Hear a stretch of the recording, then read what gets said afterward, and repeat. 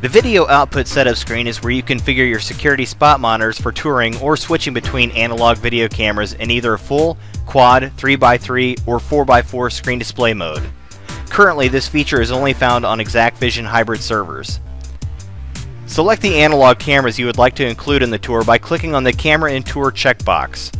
When you click on the checkbox or camera name, live video will be displayed to visually assist you to select the cameras you want to include.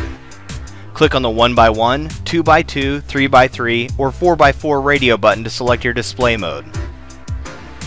Slide the dwell time control to the desired length of time before the monitor switches to the next camera. The dwell time range is from 1 to 60 seconds. Once you have made changes, click the apply button and the video output tour will begin on your spot monitors.